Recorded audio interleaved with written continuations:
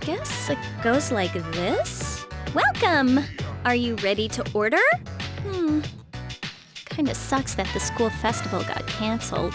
Maybe I could just wear this around the dorm for the day. Sup, Yuka-tan? Hey, does that mean you gotta call me master? What's going on, Yukari?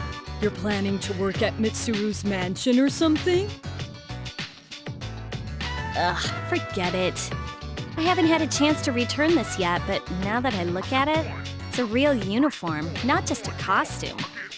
Hey, I should take a picture before I give it back to Senpai.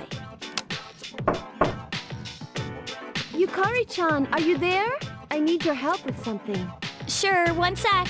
Yeah, I should drag Fuuka into this too. Wouldn't want to be the only one in the picture looking this way. Yukari-chan, those clothes. I've got a couple spare outfits, if you want to try one on. How about it? Huh? Well, wait a second. Don't worry, just hold still. This is a little tricky to put on, so it'll be faster if I help. Uh, wait, Yukari-chan.